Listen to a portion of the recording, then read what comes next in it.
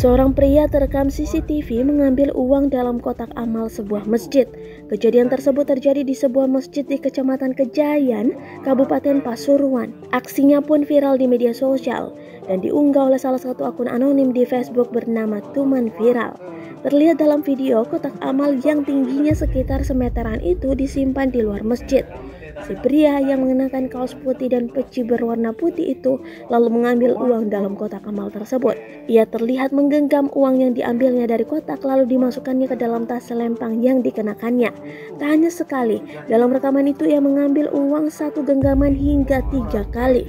Pada keterangan dituliskan peristiwa itu terjadi tepatnya pada Selasa 19 Oktober 2021 pagi sekitar pukul 6 lewat 30 menit waktu Indonesia Barat, tepatnya di Masjid Al-Hidayah Dusun Kedung Sari, Desa Wrati, Kecamatan Kejayan.